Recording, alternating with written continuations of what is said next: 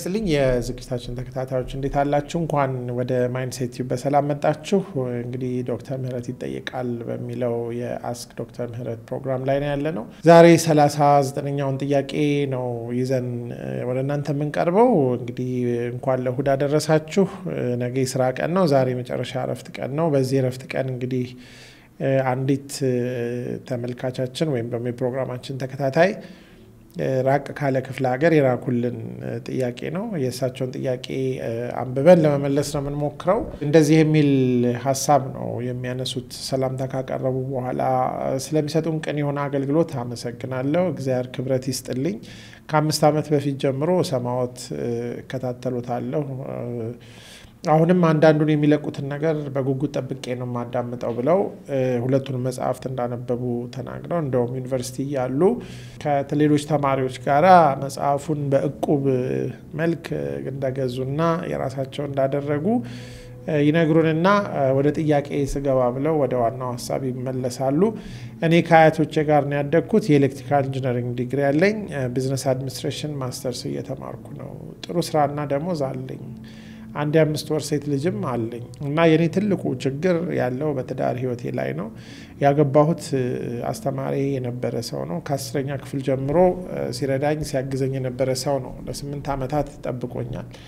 ከተጋባን ሁለት ዓመት ነው። emotional intimacy የለንም። ልጅም የተፈጠረው ያው fertility window ጠብቀን በተደረገ የሁለት ቀን ግንኙነት ነው። እርሱም ስቃይ የተሞላበት ነበር። ተጨማሪ ማደንዘዣ ወስጄ ነበር። ከዛም በኋላ ምንም ግንኙነት የለንም፣ ግን አብረን ነው የምንኖረው። ገና ቤት ውስጥ ተቀምጦ ሳየው ነው መናደድ የምጀምረው። ምንም የሚያደርገው ነገር ያናድደኛል። ሃይማኖት የሚመክረው ወንድሜ አይነ ጥላ ነው ይላል። እኔ ባላምንበትም እሱ እንደሚያፈቅረኝ ነው የሚናገረው። ለመፋታት ሁለታችንም የሰውን አፍ ፈራን። የእኔ ቤተሰብ እናትና አባት እዚሁ ከተማ ናቸው። እነሱንም እፈራለሁ። እነርሱ ይህ ሁሉ ነገር እንዳለ አያውቁም። ቶሎ ቶሎ እንደምንጣላ ያውቃሉ። እንድንቻቻል ይመክሩናል። ያገባሁት ምክንያት አንድም ለውለታ፣ ሁለትም ለቤተሰብ ትልቅ ሰርግ ነበር። ሶስትም biological clock ምክንያትም ልጅ እንዲኖረኝ በጣም እፈልግ ነበር።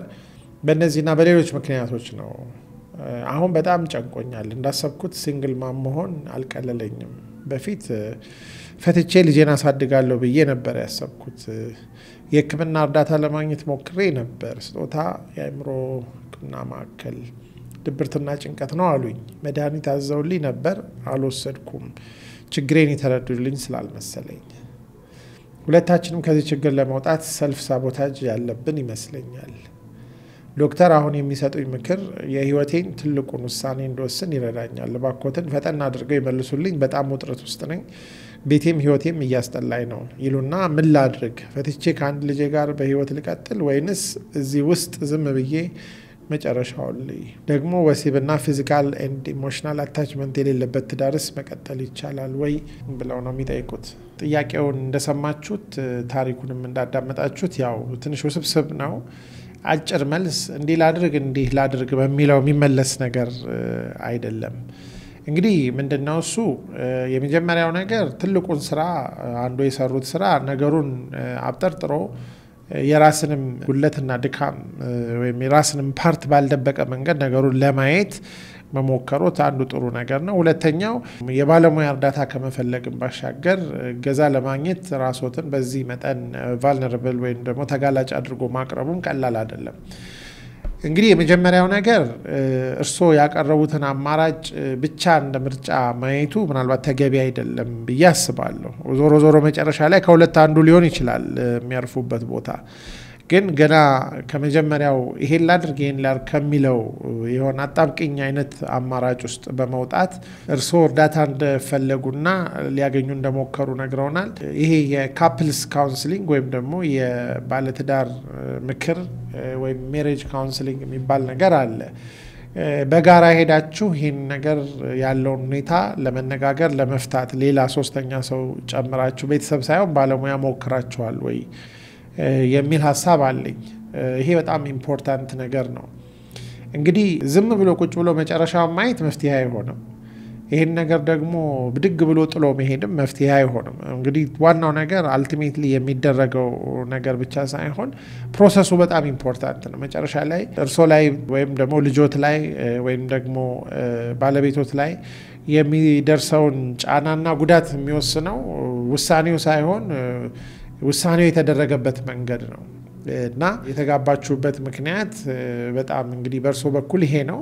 በባለቤቶት በኩል ለምንድን ነው እሱ እርሶን ማግባት የፈለጉት የሚለው ጥያቄ ያው መመለስ አለበት። እርሶ እንዳሉት ያው እወድሻለሁ ይለኛል ነው ያሉት። እንግዲህ ፍቅር እንዳላቸው ነው። ግን በእርግጥ ፍቅር ካለ ይሄንን ችግር ለመፍታት እሳቸው ምን ስቴፕ ወሰዱ የሚለው ትልቅ እንትን ነው። እንግዲህ ባህላችን በጣም ዝግ ነው። በተለይ ደግሞ ያው ቁጭ ብሎ መነጋገር ባለሙያ ጋር ሄዶ መነጋገር ብዙ ስለሌለ አስቸጋሪ የሆነ ነገር አለ። ስለዚህ እኔ የመጀመሪያው የምሰጠው ምክር የጋራ ምክር ፍለጋ ከባለሙያ ጋር ቁጭ ብሎ መነጋገር important ነው። ሌላ እንግዲህ ሁለት ዓመት ነው ከተጋባችሁ፣ አንድ ልጅ ወልዳችኋል። አምስት ወር ሆኗታል ወይም ሆኖታል። ሴት ልጅ ነች፣ ስለዚህ ሆኗታል።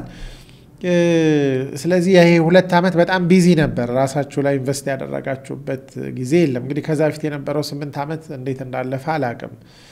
በመካከላችሁ relationship build ለማድረግ እንዴት ለምን እንዳልቻላችሁ አላቅም። ስምንት ዓመት ረጅም ጊዜ ነበረ ለዝግጅት ማለት ነው። የባለቤቶት ቤተሰቦች በዚህ ውስጥ ያላቸው ሚና አላቅም። ወንድም እህቶች ካሏችሁም አላቅም ግን ስምንቱን ዓመት ለመቆየት ያስቻላችሁ ነገር ምንድን ነው የሚለው ትንሽ ምላሽ ያስፈልገዋል። አሁን ግን ምናልባት አስረኛ ክፍል በነበሩ ጊዜ የተጀመረ ነገር ስምንት ዓመት መጠበቅ ከሚለው ጋራ maybe አሁን ወደ ሀያዎቹ መጨረሻ አካባቢ ይሆናል የእርሶ እድሜ። የባለቤቶት እድሜ ደግሞ ምን ያህል እንደሆነ እንግዲህ እዚህ ላይ አይጠቅስም። ምናልባት ከእርሶ የሚበልጡ እንደሆነ ምንም ጥያቄ የለውም። ግን ምን ያህል ልዩነት አለ የሚለው ነገር እንግዲህ የራሱ ጫና ሊኖረው ይችላል። ለእኔ እንግዲህ እዚህ ትዳር ውስጥ የማየው ነገር አንደኛ በሚኖራቸው physical intimacy ወይም ደግሞ በአካላዊ ግንኙነታችሁ ላይ ትራውማቲክ የሆነ ወይም ደግሞ ስቃይንና ጉዳትን አይነት የፈጠረ ነገር ተፈጥሯል በመጀመሪያው አካባቢ። ከዛ በኋላ ያን ነገር እንግዲህ ተነጋግራችሁ ለመፍታት እድል አላገኛችሁም። የዛ ምክንያቱ ምንድን ነው የሚለው ነገር አንዱ ችግር ያለው እንደ ብዙ ትዳሮች እንግዲህ ከወሲብ ዙሪያ ያሉት ነገሮች ናቸው። ይሄ ተነጋግራችሁ ወይም ደግሞ ባለሙያ ታይታችሁ ሊፈታ አይችልም ወይ የሚለውም ማየት አስፈላጊ ነው። ሁለተኛ የ communication ኣችሁ ሁኔታ ነው። communication ኡ በጣም የተበለሻሸ relationship ይመስላል። ሶስተኛ ደግሞ እንግዲህ አሁን እርስዎ ውለታው፣ የቤተሰብ ጉዳይ፣ አንዳንድ ነገሮች ምክንያቶች ናቸው ለትዳሩ ግን ይሄ ብቻ ነው ወይ የሚለውንም ማየት ምንም ፍቅር አልነበሮትም፣ ሌላ ምክንያት የለም። በዚህ ብቻ ነው እስካሁን ድረስ የኖሩት በፊትም የቆዩት የሚለውን ነገር ትንሽ እንደገና ማየት ያስፈልጋል።